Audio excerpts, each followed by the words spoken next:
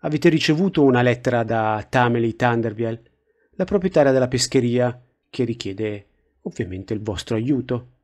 Con la guardia cittadina impegnata a proteggere i taglialegna, ha bisogno di alcune anime coraggiose per avventurarsi nel seminterrato del suo magazzino e porre fine alla bestia che si ciba dei suoi pesci. Solo poche ore fa vi siete riuniti nell'ufficio di Tamely Thunderbiel, dove vi ho offerto dieci pezzi d'oro ciascuno se poteste porre fine a questa minaccia. Era elettrizzata quando avete accettato di aiutarla con questo semplice compito, ma mentre scendete le scale non potete fare a meno di chiedervi se questa potrebbe essere molto di più di un'avventura di quanto vi aspettaste. Appena scendete, al centro della stanza, tra i pilastri che sorreggono il seminterrato, ci sono delle botti piene di pesce salato.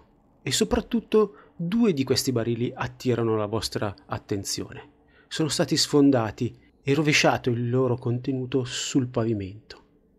Ma subito nella parete est notate un grande buco che si apre nell'oscurità e subito dopo uno squittio e qualcosa che si sta muovendo verso di voi. Inizia il vostro primo combattimento.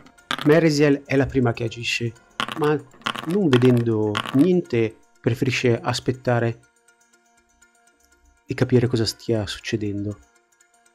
Dall'oscurità esce un alto ratto gigante che di gran carriera corre verso Valeros e lo attacca per ben due volte, mancandolo.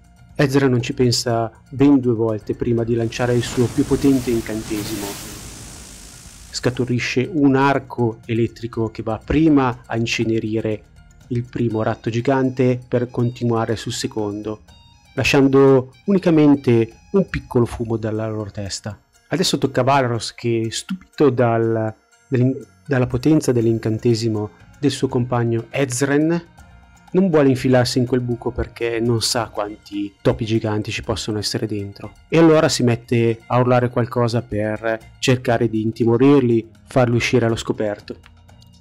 Dopodiché si sposta davanti a Kiria e alza il suo scudo in attesa del nemico, che puntualmente arriva dall'oscurità e cerca di attaccare Valeros. Manca miseramente entrambi i colpi e adesso tocca a Kira. Prima lancia un incantesimo di frastornare al ratto più vicino che sta infastidendo Valeros, uccidendolo sul colpo. Poi urla a gran voce: Meresiel, abbiamo bisogno di te qua! Ratto gigante a ore 3! L'ultimo ratto si fa avanti e colpisce Valeros, che schiva i colpi e para col suo scudo. Appena Meresen sente Kira, sa subito cosa deve fare, circondare il ratto e colpirlo alle spalle. Si muove agilmente e aggira il pilastro trovandosi il ratto colpendolo a morte. Finisce il combattimento e termina la sessione. Nel prossimo video i nostri avventurieri si addentreranno questo buco. Fatemi sapere nei commenti se vi è piaciuto e se avreste fatto qualcosa di diverso.